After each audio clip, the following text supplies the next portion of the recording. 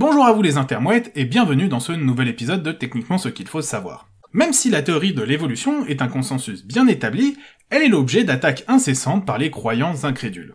Pour eux, il ne fait aucun doute que leur livre sacré décrivant la création d'un monde et de notre univers raconte la vérité, puisqu'il est écrit par des prophètes sous la dictée de leur ami imaginaire, immortel et immuable. À leurs yeux, seule la vérité comptée par les récits d'une création d'un monde parfait et intemporel sont acceptables. Pour cette raison, ils n'hésiteront pas à attaquer la théorie de l'évolution pourtant bien documentée et dont de nombreuses études rassemblant des données sur des espèces végétales, animales, terrestres comme marines, sur plusieurs millions d'années ne cessent de prouver son efficacité. À leurs yeux, la théorie de l'évolution n'est qu'une théorie.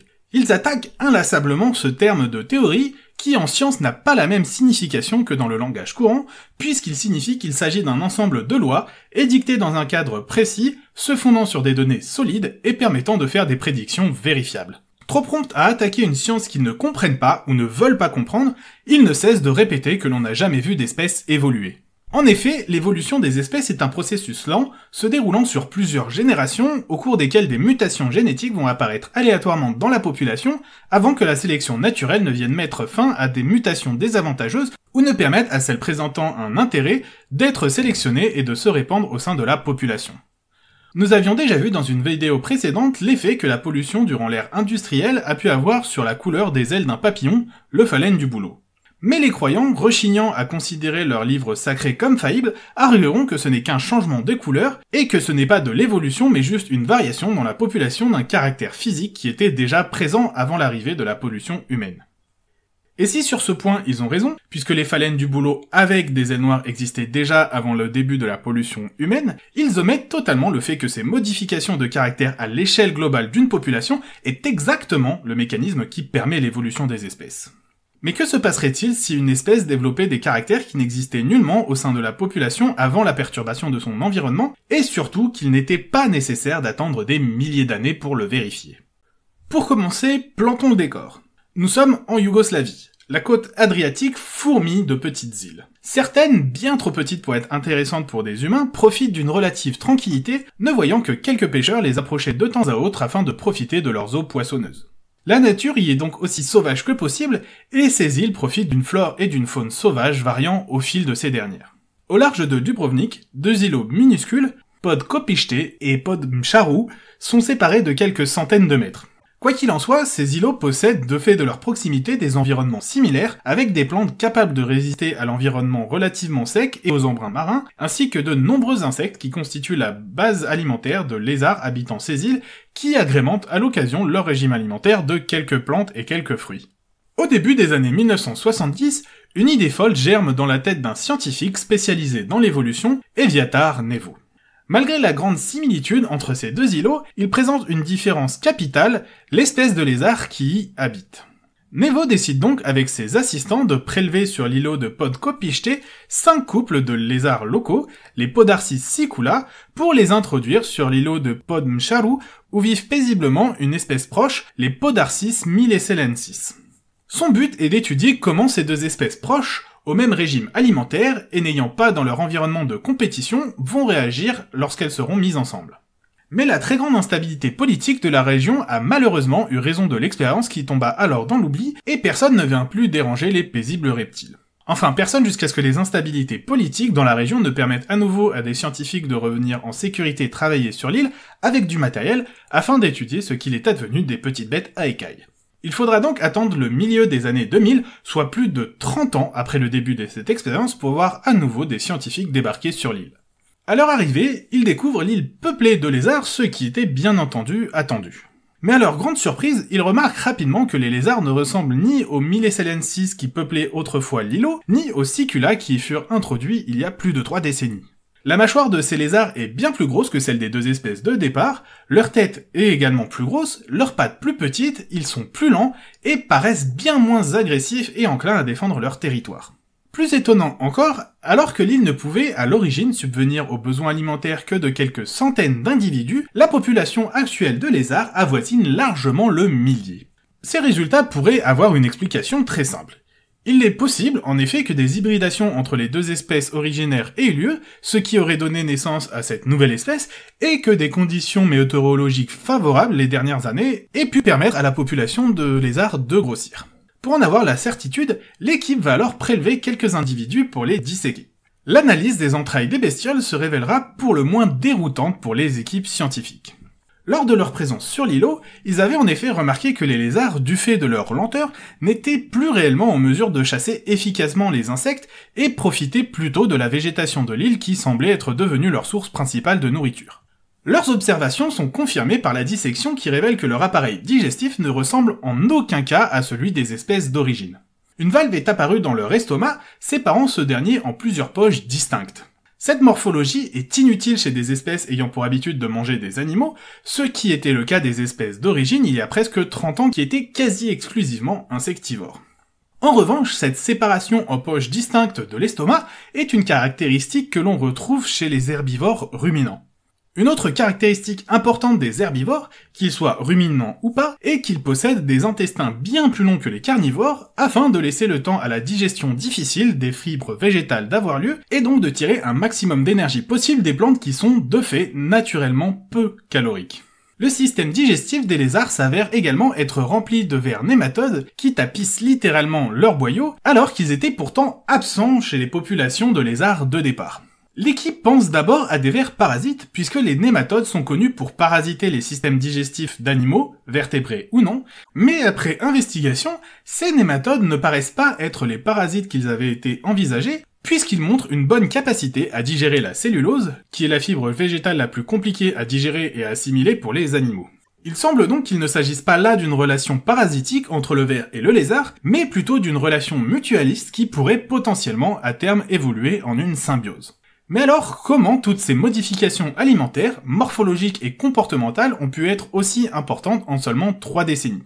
Pour s'assurer qu'il ne s'agisse pas du cas peu probable d'une troisième espèce de lézard, venue se reproduire avec les deux déjà présentes, l'ADN des lézards est prélevé et comparé à celui des populations de Sicula qui peuplent toujours l'îlot de Podkopichte. L'analyse génétique prouve indubitablement que ces lézards végétariens sont bel et bien les descendants directs des couples introduits originellement dans les années 1970. Comment alors expliquer ces changements si radicaux de morphologie ainsi que la disparition des habitants qui peuplaient autrefois l'île de l'étude? L'hypothèse la plus probable est que les couples introduits se sont retrouvés dans une position délicate que l'on appelle un goulot d'étranglement. Il y a peu de reproducteurs, donc une faible possibilité de variabilité génétique dans la descendance. Cette situation donne lieu à une forte consanguinité qui entraînera de nombreuses malformations et un taux de survie assez faible chez les descendants. Mais cette situation met également les individus reproducteurs dans une situation de stress qui fait alors augmenter le taux de mutation de ces derniers. Cette possibilité avait déjà été théorisée par Stephen Gould dans les années 1970, soit au moment même du début de l'expérience. Cette théorie, dite des équilibres ponctués, part du principe que si l'évolution des espèces s'effectue lentement dans un environnement stable, elle peut lors de changements brusques de l'environnement devenir plus rapide afin de s'adapter à la pression de sélection accrue. Nos petits lézards n'ont donc eu de choix que de s'adapter à leur nouvel environnement pour ne pas disparaître irrémédiablement. Les deux espèces de lézards de départ partageant les mêmes habitudes alimentaires, à savoir un régime alimentaire composé essentiellement d'insectes et agrémenté de plantes à hauteur de quelques pourcents comme nous l'avons dit, va entraîner une féroce concurrence entre les deux. Les cinq couples introduits sont donc soumis à une pression évolutive bien plus importante que la centaine de lézards avec lesquels ils cohabitent et vont alors voir leur taux de mutation augmenter. Parmi leurs descendants, ceux ayant une mâchoire leur permettant d'incorporer une plus grande part de végétal dans leur alimentation ont eu la chance de se retrouver avec une source de nourriture qui n'intéressait que peu les autres individus de l'île. Pouvant alors se tourner vers une source de nourriture qui ne bougeait pas, contrairement aux insectes, et beaucoup plus abondante, ils ont ainsi pu survivre et donner naissance à une nouvelle génération au sein de laquelle, là encore, la capacité à incorporer plus de verdure dans le régime alimentaire allait devenir un point important dans la survie. Par leur capacité à digérer les plantes, ils avaient accès à une source de nourriture plus importante, leur permettant de faire une meilleure croissance et de devenir plus gros. Leur taille augmentant, ils étaient alors en mesure, de par leurs intestins plus longs, de mieux digérer les fibres végétales, assurant ainsi une meilleure alimentation. Leur taille plus importante leur permettant également d'avoir une meilleure mastication des végétaux, favorisant la digestion et l'assimilation des nutriments contenus dans les plantes qu'ils consommaient, cela avait une influence directe également sur leur croissance. Vous l'avez compris, on rentre là dans un processus rétroactif que l'on pourrait appeler une boucle vertueuse. L'augmentation de taille permet par différents procédés une meilleure digestion des matières végétales, et une meilleure digestion entraîne à son tour accès à une croissance plus importante permettant d'atteindre une taille supérieure. Il n'était donc plus nécessaire pour ces lézards de courir après les insectes afin de les incorporer à leur menu, et leur vitesse a donc au fil des générations diminué. De même, défendre un territoire où les insectes ont l'habitude de venir n'était plus nécessaire puisque les plantes poussent un peu partout sur l'île, et leur agressivité a également diminué au fil des générations. Même si ce scénario n'est qu'une hypothèse, il concorde relativement bien avec les données déjà accumulées auparavant sur l'évolution de certaines espèces, et surtout avec les études génétiques qui prouvent que les cinq couples de départ déposés dans les années 1970 sur l'île sont bien les ancêtres de tous les lézards la peuplant aujourd'hui.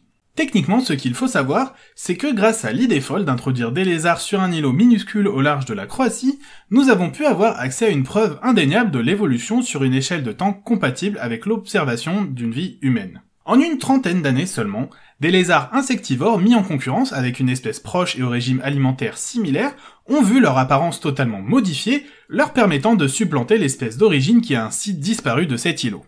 En moins de 40 générations, les Podarcis sicula ont vu leur taille augmenter, leur mâchoire s'élargir, leurs pattes se raccourcir et leur système digestif se modifier drastiquement pour s'adapter à un régime alimentaire principalement végétarien.